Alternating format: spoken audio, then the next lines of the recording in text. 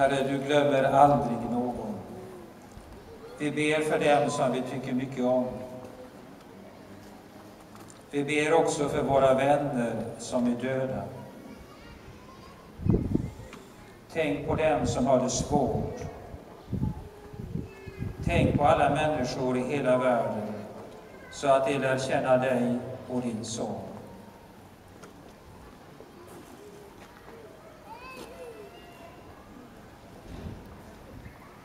Vi tror på dig. Vi tackar dig när vi ser vad du gör genom din son Jesus Kristus.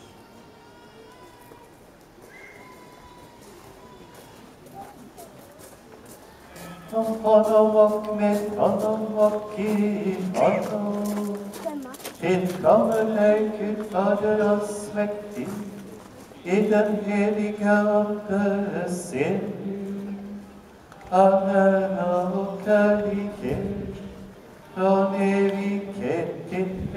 enhet.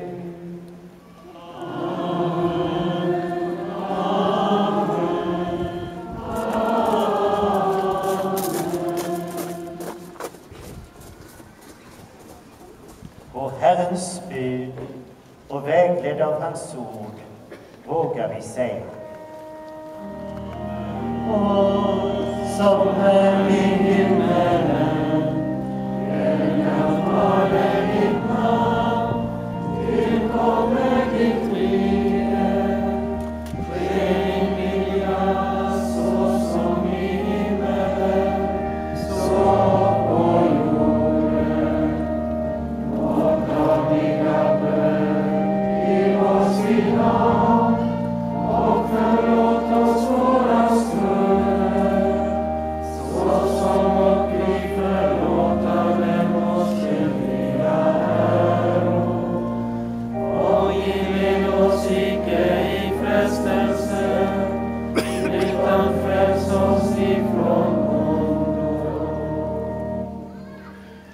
Ja, fräls oss, Herre, från allt ont och ge oss fred i våra dagar.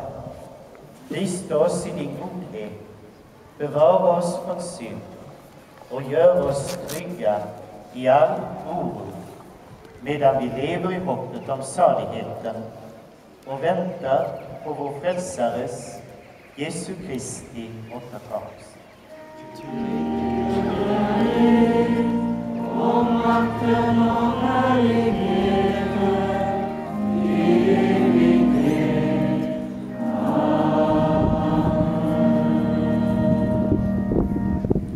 Herre Jesus Kristus, du som sade till dina apostlar, frid lämnar jag efter mig åt er, min frid ger jag er.